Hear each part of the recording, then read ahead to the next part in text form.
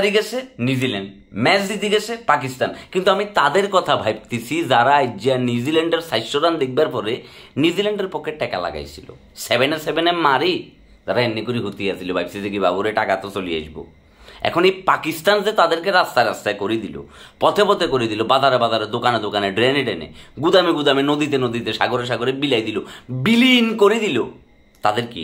এখন তারা শুধু একটা কথাই বলব, আমার লাভ লস নাই, আমার জীবনটাই লস আমি পথে পথে ডেনে ডেনে কাশেম কাকার মাইক ভাড়া করি, তাদেরকে এখন কাইনতে হইব। এছাড়া তাদের আর কোনো গতি নেই। এটা কোনো কথা? সাতশো রান করিবার পরও নিউজিল্যান্ড নিরাপদ ন। তারা ম্যাচটা হারিয়ে গেল বৃষ্টি আইনে একুশ রানে। ফকর জামানের ওরে মায়ের, প্রত্যেকটা ছক্কা মনে হয়েছে আমার গালের উপর আসি পড়ছে, কারণ আমি তো নিউজিল্যান্ড সাপোর্ট করছিলাম। আমি তো বলছিলাম যে এই ম্যাচ পাকিস্তানের দুইবার ব্যাটিং করতে দিল কি পাকিস্তান নিতে পারতো না। কিন্তু ওই যে গজব বেজ্জতি হুয়া হামারা গজব বেজ্জতি হুয়া হামারা। ফকর জামান নামকার যে মাইটটা দিছে এগারোটা ছক্কা মারছে মামায়। বিশটা ছক্কা। এ টুর্নামেন্টের সর্বোচ্চ ব্যক্তিগত হাইস কিন্তু ফকর জামান তিনটা ইনিংসেই মামা ছক্কা মারি দিছে আঠারোটা। আরেকটা ম্যাচ আছে আরেকটা ম্যাচে যদি মামা চার পাঁচটা মারা মামা তো বাকিদেরকে সারাই দেবে মনে হইতেছে। যে মারাটা মারছে আমার কাছে তো মনে হইতেছে বৃষ্টি নয় শ্লোকই। পাকিস্তান জিতিয়ে সাইশো রান করিয়ে লিত ঠিক আছে পাকিস্তান? পাকিস্তান মারি মনে করো যে কি ফার্স্ট রান কিন্তু কি করিয়া লিত কোনো কথাবার্তা ছাড়া। যে মাইট দেখছি মনে হয় যে ফার্স্ট হইল কি, কম হয়ে যাবে কই কিন্তু এখন যারা নিউজিল্যান্ডের পক্ষে তোমরা বাজি লাগাইছিলে, টাকা মারছিলে, জুয়া খেলছিলে, তারা এখন কোথায়? তাদেরকে তো কাশাম কাকার মাইক বাড়া করিও তাদেরকে খুঁজি পাওয়া যাইতেছে না। শেফালির মা দূরবীন আনলে তাদেরকে দেখা যাইতেছে না। তারা গায়েব, বিলকুল গায়েব। কিন্তু যারা ভুলে সুলে পাকিস্তানে মারি দিছো, একশো টিয়া, এক হাজার টিয়া, তারা তো যে লালে লাল মামা। আর যত তারা ফুল লালে লাল, তারা কল্পনাও করতে পারে না কি তারা ম্যাচটা জিতে যাবে কই। ফকর জামানের মায়ের, ওরে মায়ের রে মায়ের।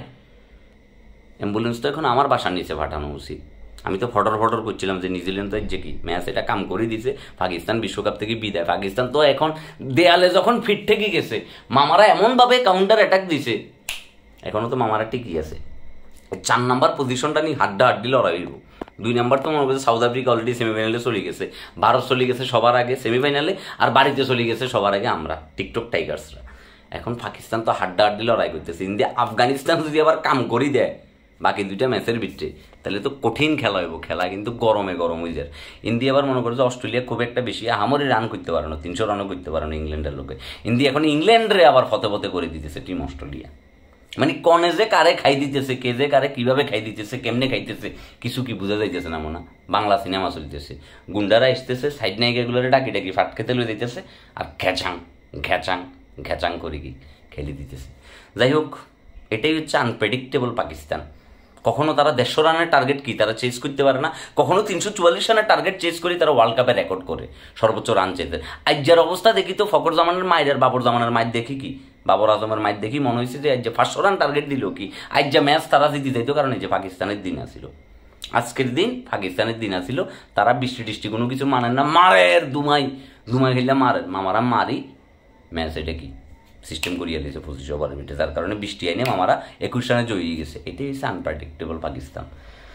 আর জোতা হচ্ছে আমার গালের বিটে কারণ আমি ব্ল্যাক ক্যাপ সাপোর্ট করছি। আমি আসলে এমন একটা কুফা, আমি যেইটার বিটে হাত দেবো, সোনা হয়ে যাব। ডাইরেক্ট কি তোমার জীবন হতে হতে সেই বিশ্বকাপ থেকে দেখতেছি। ব্রাজিলরে ধরলাম, ব্রাজিল শেষ ধ্বংস। ব্রাজিলকে এখন আর কি, কেউ হারিকেন দিয়েও খুঁজি পাওয়া যাইতেছে না। মায়ের দেওয়া ক্রিকেট টিম পথে পথে।